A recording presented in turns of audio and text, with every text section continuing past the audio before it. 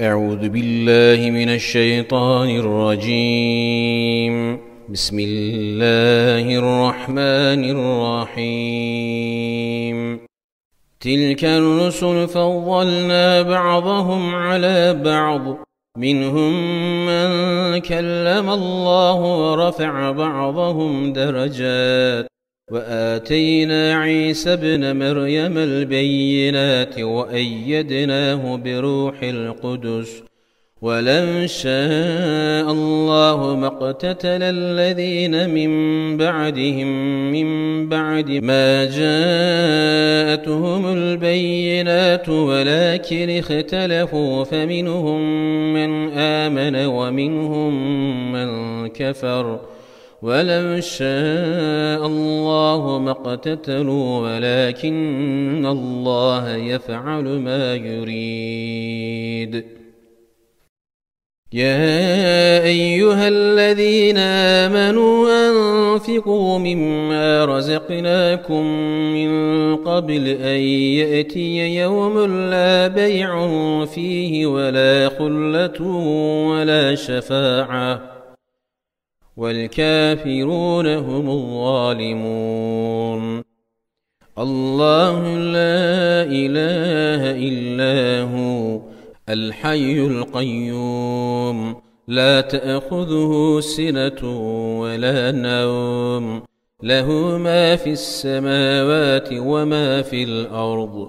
من ذا الذي يشفع عنده إلا بإذنه.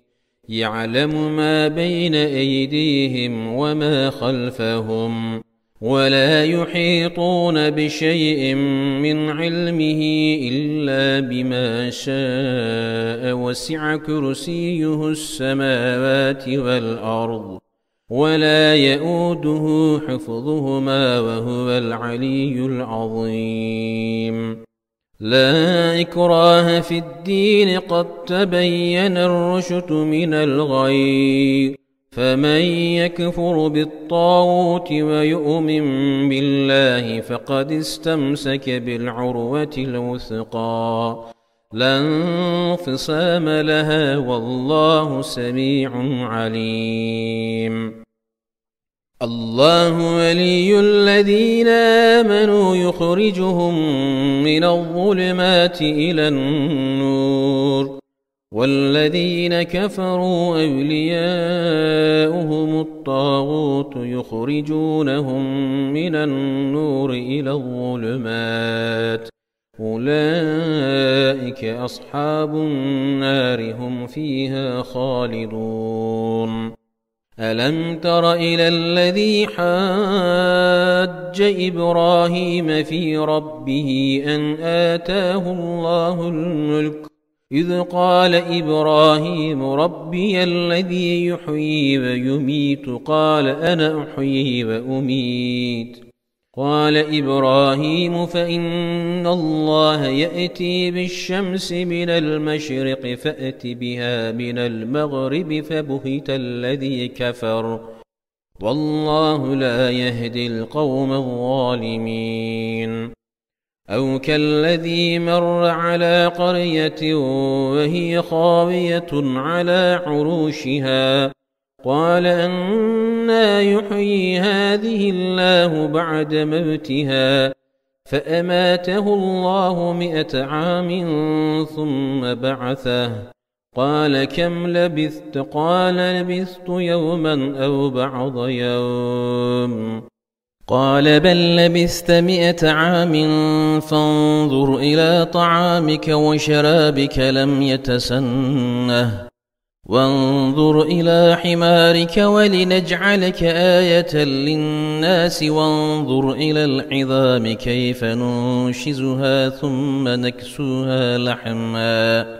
فلما تبين له قال أعلم أن الله على كل شيء قدير. وإذ قال إبراهيم رب أرني كيف تحيي الموتى. قال أولم تؤمن؟ قال بلى ولكن ليطمئن قلبي. قال فخذ أربعة من الطير فصرهن إليك ثم اجعل على كل جبل منهن جزءا ثم ادعهن يأتينك سعيا. واعلم أن الله عزيز حكيم. مثل الذين ينفقون أموالهم في سبيل الله كمثل حبة أنبتت سبع سنابل في كل سنبلة مئة حبة والله يضاعف لمن يشاء والله واسع عليم الذين ينفقون أموالهم في سبيل الله ثم لا يتبعون ما أنفقوا منا ولا أذى لهم أجرهم عند ربهم ولا خوف عليهم ولا هم يحزنون. قول معروف ومغفرة خير من صدقة يتبعها أذى. والله غني حليم. يا أيها الذين آمنوا لا تبطلوا صدقاتكم بالمن والأذى كالذي ينفق ماله رئاء الناس ولا يؤمن بالله واليوم الآخر. فمثله كمثل صفوان عليه تراب فأصابه وابل فتركه صلداً. لا يقدرون على شيء مما كسبوا. والله لا يهدي القوم الكافرين.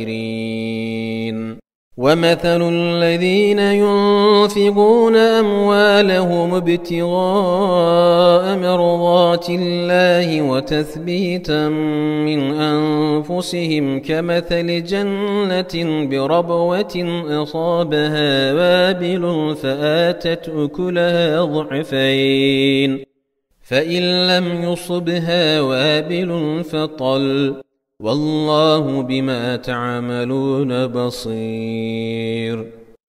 أيود أحدكم أن تكون له جنة من نخيل وأعناب تجري من تحتها الأنهار له فيها من كل الثمرات وأصابه الكبر وله ذرية ضعفاء.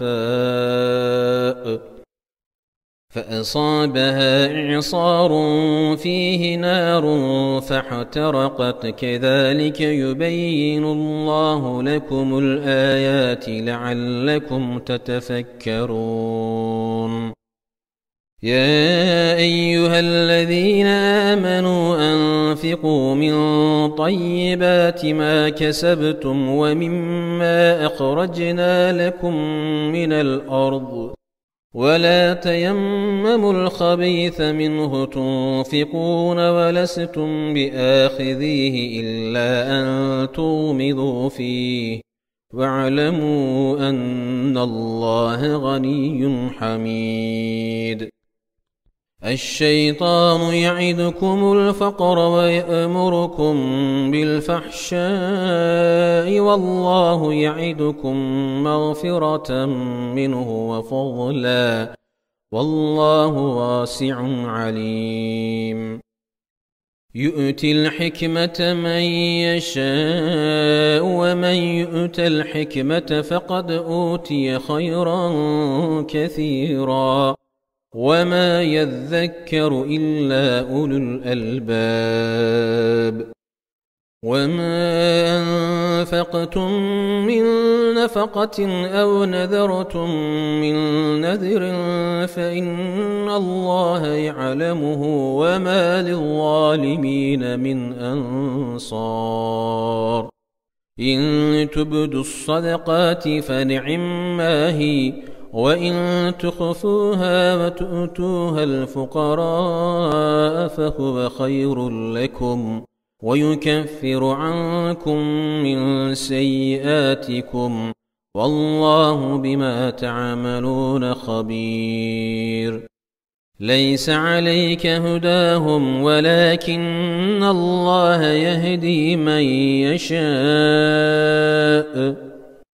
وما تنفقوا من خير فلانفسكم وما تنفقون الا ابتغاء وجه الله وما تنفقوا من خير يوف اليكم وأنتم لا تظلمون للفقراء الذين أحصروا في سبيل الله لا يستطيعون ضربا في الأرض يحسبهم الجاهل أغنياء من التعفف تعرفهم بسيماهم لا يسألون الناس إلحافا. وما تنفقوا من خير فان الله به عليم الذين ينفقون اموالهم بالليل والنهار سرا وعلانيه فلهم اجرهم عند ربهم ولا خوف عليهم ولا هم يحزنون صدق الله العظيم.